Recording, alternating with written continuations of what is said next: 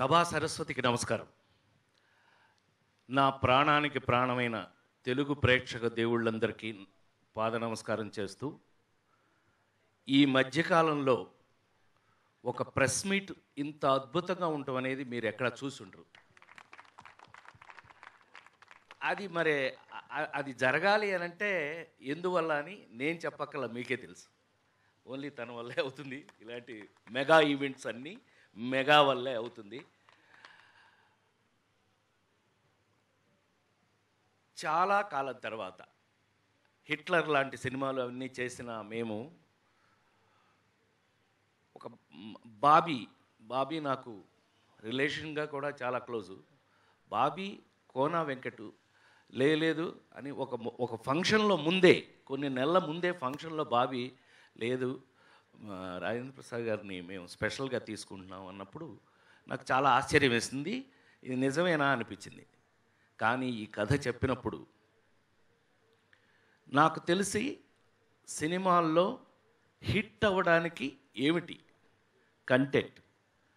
ఈ కంటెంట్ విన్నప్పుడు ఎంత అద్భుతంగా ఉంది అని అంటే ఆహా మళ్ళీ మెగా హిట్ తప్పదు.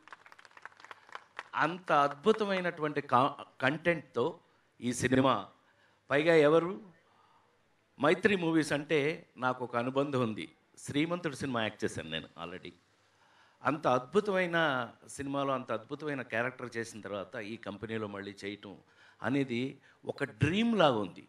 కానీ నేను మీ ముందు ఇవాళ గుండె మీద చేసుకుని ఇది ఒక అద్భుతమైన సినిమా అనడానికి కారణం ఏ ఏ క్యారెక్టర్స్ ఎవరెవరు వెయ్యాలో వాళ్ళు వాళ్ళు వేశారు.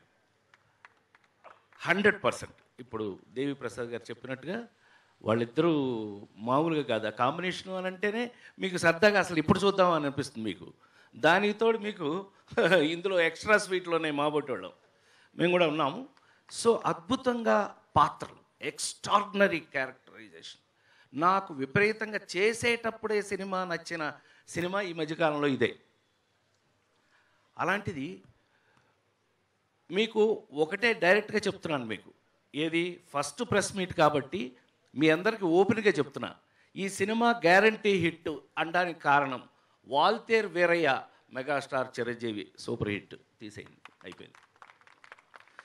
దీనికి ఏమేమి ఎక్స్ట్రాలు తగిలిచ్చారు? మాస్ మహారాజును తగిలిచ్చారు.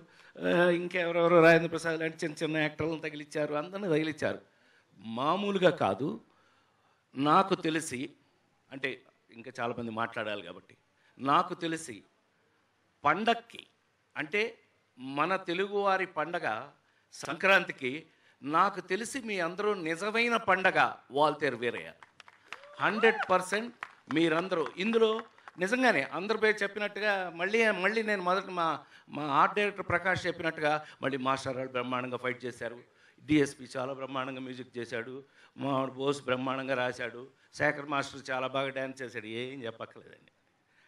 ఎవరెవరి పని వాళ్ళు వాళ్ళు మహా అద్భుతంగా ఎక్స్ట్రాడినరీగా చేశారండి. అంటే పౌరుషంతో ఒకళ్ళు ఈ సెట్ చూస్తే తెలియట్లా మీకు ఎలా ఉంటుందని? ఈ సెట్ చూస్తేనే మీకు అర్థమవుతుంది. ఎంత ఒక ఒక పర్సనల్గా పర్సనల్ నాకు తెలిసి. ఇప్పుడు ఈ సినిమాలో నేను నేను హిట్లర్ కన్నా సూపర్గా యాక్ట్ చేయాలని చేశా. హండ్రెడ్ పర్సెంట్ అది బ్రహ్మాండంగా నాకే నచ్చాలి. తర్వాత మీకు నచ్చాలి.